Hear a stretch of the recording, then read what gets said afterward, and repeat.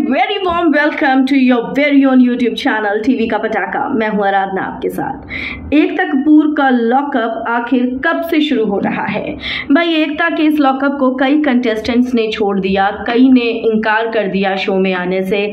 लेकिन Ekta is all set to bring her reality show lockup जो इस बार खबरें हैं कि सिर्फ़ ऑल्ट बालाजी पर ही नहीं, बल्कि उसके साथ साथ नेशनल टेलीविज़न पर भी आएगा। खबर तो जी की आ रही है सामने जी टीवी की। खैर, आखिर कब शुरू होने जा रहा है लॉकअप आपको बताऊँगी, लेकिन उससे पहले आप चैनल को ज़रूर सब्सक्राइब करें, वीडियो को लाइक और शेयर करें।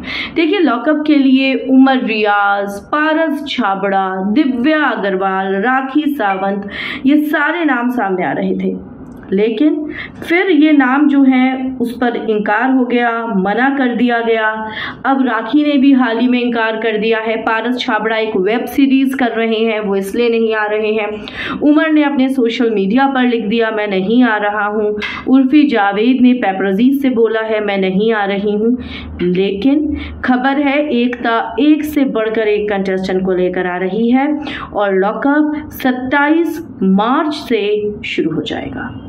Premiere date is twenty seventh of March यानी कि इसी महीने से लॉकअप का एकता कपूर आगाज़ कर देंगी। आपको यहाँ पर यह बता दूँ कि Ekta Kapoor is very superstitious जब डेट्स का सवाल होता है, क्योंकि वो अपने पंडितों से एस्ट्रोलॉजी के हिसाब से डेट्स निकलवाती हैं शो के नाम भी उसी हिसाब से रखती हैं, और इस बार जो एकता ने तारीख निकाली है, वो तारीख है सत्ताईस मार्च। So are you waiting for lockup comments में आप ज़रूर लिखकर बताएँ, क्योंकि इस बार एकता का लॉकअप कंगना का लॉकअप और भी ज़्यादा ग्रैंड होने वाला है। कमेंट्स में आप अपनी राय ज़रूर लिखें, वीडियो को लाइक और शेयर करें।